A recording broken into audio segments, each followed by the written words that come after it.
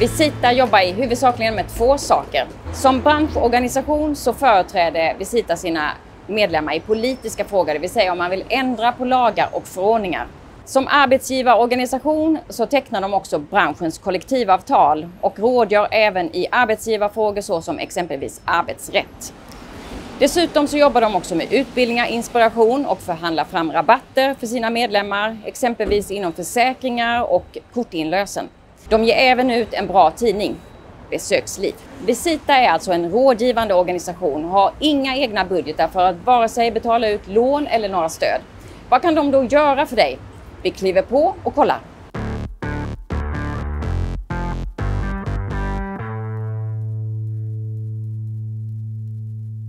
Hej Carl-Johan Svansson! Hej! Du är ju kommunikationschef på Visita och ni måste ju ha haft riktigt bråda dagar eller tid här nu de senaste två, tre åren. För det finns väl egentligen ingen annan bransch, förutom då kultursektorn kanske, som har tagit så mycket stryk som era medlemmar inom restaurang, hotell och kaféer. Ja, men så är det. Eh, sedan ska inte våra utmaningar eller våra, våran arbetsbörda på något sätt jämföras med våra medlemmars. Eh, det är de som har, som har haft det riktigt jobbigt, inte vi. Men som rakt svar på din fråga mm. så ja, det har varit intensiva år, absolut. Intensiva och tuffa år. Överst på er hemsida så står det ju att vi hjälper företagare inom besöksnäringen, vilket då dockar in i de här verksamheterna då som har haft det otroligt tufft under de här åren. Vad gjorde ni då åt verksamheterna under den här tiden? Man kan väl dela upp det i, eller man kan dela upp det i många delar som helst för som sagt det var ganska mycket att göra. Men mm. om man förenklar det hela lite så Dels var det ju en extremt omfattande rådgivningsverksamhet där våra jurister som svarar i, ja, i telefonjouren eh, eh helt enkelt skulle kunna ha samtal dygnet mm. runt. Men mm. en omfattande rådgivningsverksamhet för att eh, Eh, utreda hur permitterings eller rådge kring hur permitteringssystem fungerar, hur mm. omställningsstödet ska sökas, hur man ser till att, eh, att eh, sköta det här på ett sätt som gör att, att det fungerar som det ska. Mm. Den andra delen var ju en omfattande påverkansarbete. Mm. Dels direkt gentemot regering, riksdag, beslutsfattare, folkhälsomyndighet. Men också som ju allt påverkansarbete nästan mycket opinionsbildande, inte minst i media. Mm. Jag har ju själv en bakgrund som presschef inom politiken och där kunde det vara hektiskt under valrörelser och annat. Mm. Men um, det var rätt hektiskt under, eh, hela den här tiden, under hela den här perioden också. Mm. Ja, det kan jag förstå.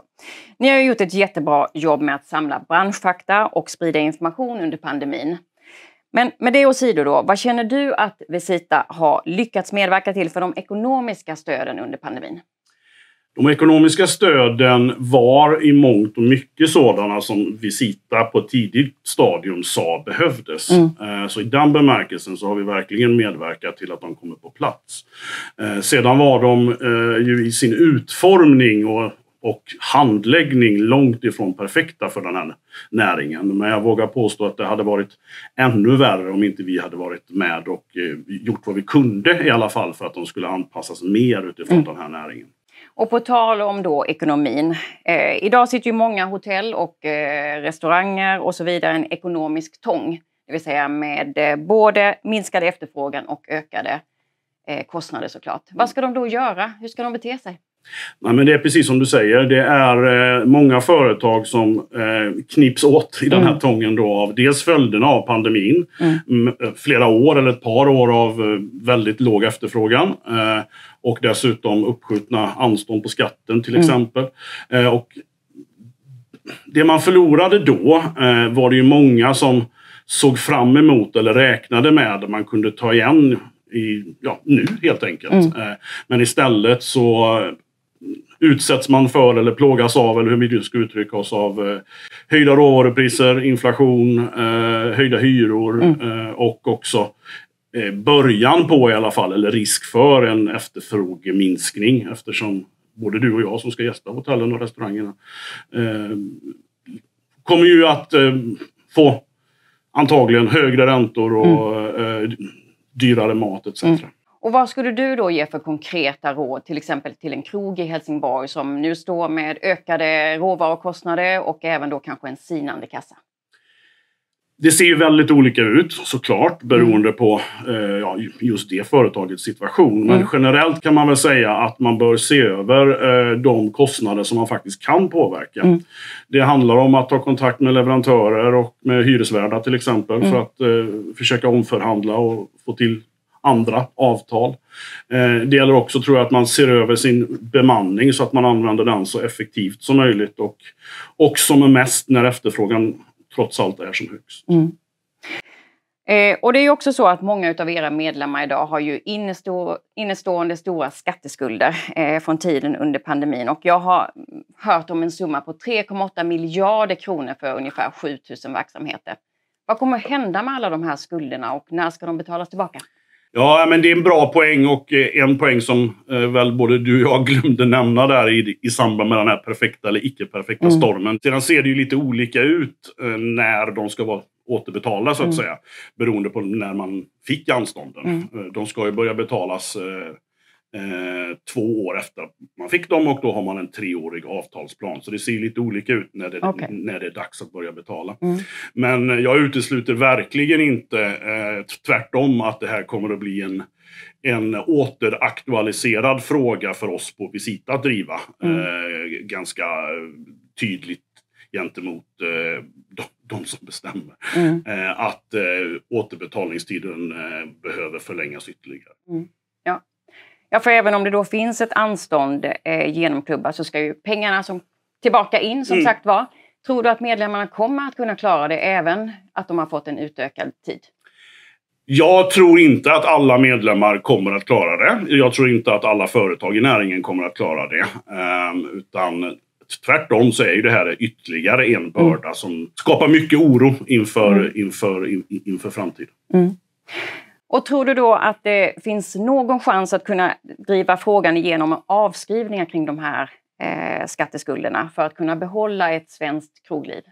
Ja, som, som sagt, jag utesluter verkligen inte, snarare motsatsen, att eh, frågan om, eh, om eh, anståndens eh, återbetalningstid och eller avskrivning eh, eh, kommer att bli liksom återigen en viktig fråga. Mm. Det var ju en viktig fråga för oss eh, liksom under pandemin mm. och innan de infördes. Så vi har ju också varit med och bidragit till i diskussionen med att återbetalningstiden redan har förlängts en gång. Ja.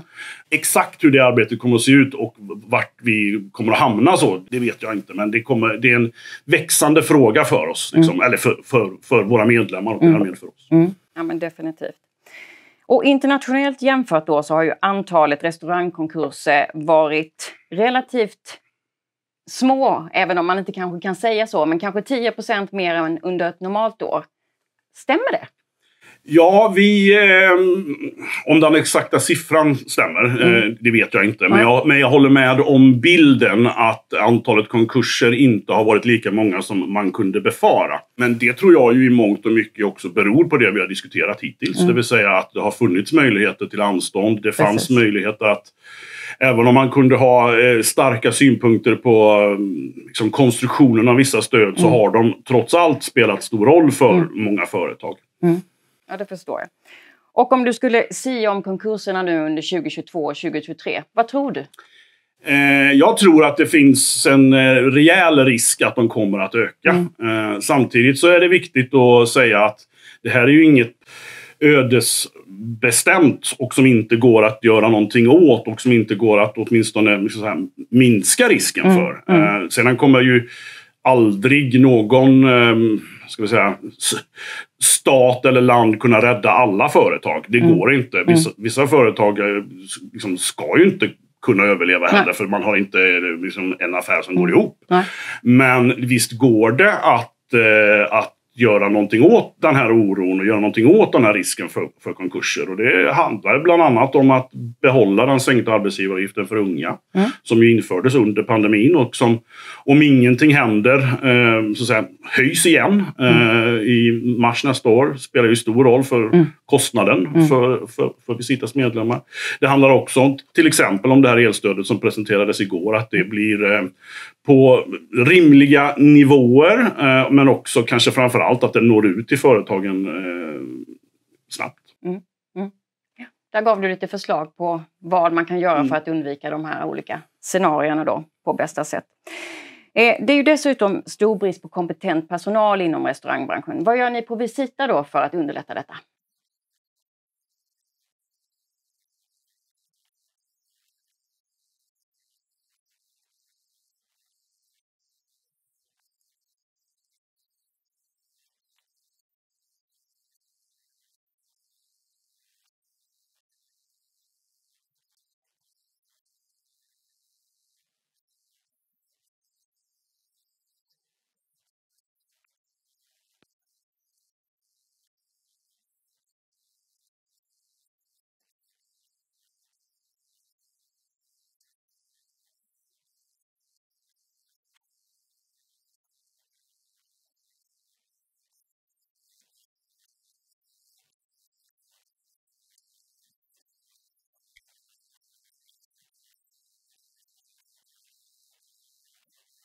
Så tror du då att det kommer att hittas någon sundare balans på marknaden framöver genom de här insatserna och att vi kanske då kommer täppa till de hålen som just nu finns genom utbildningar och att fler jobbar inom restaurang och även söker sig till de här utbildningarna?